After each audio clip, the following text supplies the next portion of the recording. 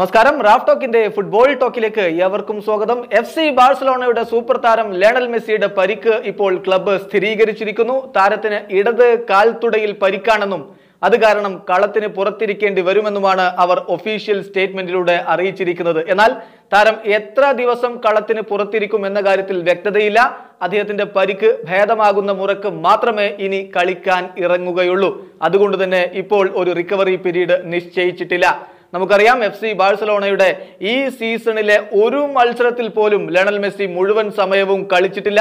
അദ്ദേഹം തിരിച്ചു വന്നിട്ട് മൂന്നേ മൂന്ന് മത്സരങ്ങളെ ആയുള്ളൂ. ഈ മത്സരങ്ങളിലെല്ലാം കുറഞ്ഞ സമയം മാത്രമാണ് അദ്ദേഹം കളിച്ചത് കഴിഞ്ഞ ദിവസം വി ആർ എല്ലിനെതിരെ കളിക്കുന്നതിനിടെയാണ് അദ്ദേഹത്തിന്റെ ഇടത് കാൽ തുടയിൽ വേദന അനുഭവപ്പെട്ടത്. മത്സരത്തിന്റെ മുപ്പതാം മിനിറ്റ് മുതൽ അദ്ദേഹം ട്രീറ്റ്മെന്റിന് വിധേയനായിരുന്നു. തുടർന്ന് രണ്ടാം പകുതിയിൽ അദ്ദേഹത്തിന് കളിക്കാനും കഴിഞ്ഞിരുന്നില്ല.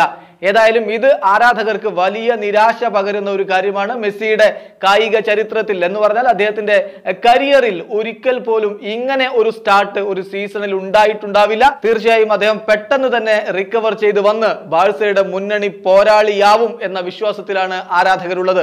ഈ വീഡിയോ അവസാനിക്കുന്നു. ഫുട്ബോൾ ലോകത്ത് കൂടുതൽ വിശേഷങ്ങളുമായി റാഫ് ടോക്സ് വീണ്ടും എത്താം.